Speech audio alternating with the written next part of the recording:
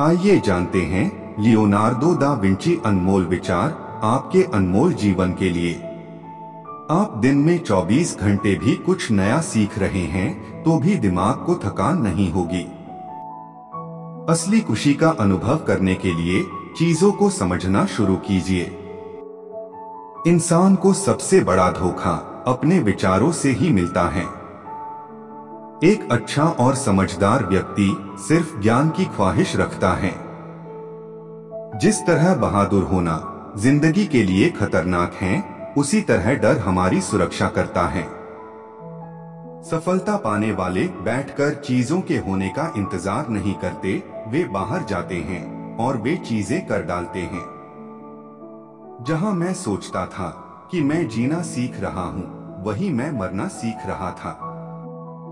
कला कभी खत्म नहीं होती, उसे बस त्याग दिया जाता है। सबसे बड़ा धोखा जो लोगों को मिलता है, वो उनकी खुद की राय के कारण होता है।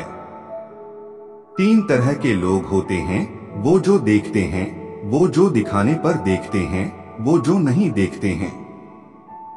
सबसे बड़ी खुशी समझने की खुशी है। एक अच्छी तरह बिताया दिन सुखद नींद लेकर आता है, उसी तरह एक अच्छी तरह बिताया जीवन, एक सुखद मौत लेकर आता है। शादी सांपों से भरे बैग में, इस आशा के साथ हाथ डालना है कि मछली निकले।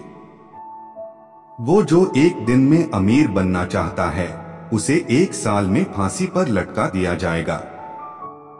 जिस जगह पर लोग चिल्लाकर या चीख कर बात करते हैं, वहाँ सच्ची जानकारियाँ नहीं मिल सकती। किसी चीज़ को पसंद या नापसंद करने से पहले उसे सही तरह से समझना ज़रूरी है।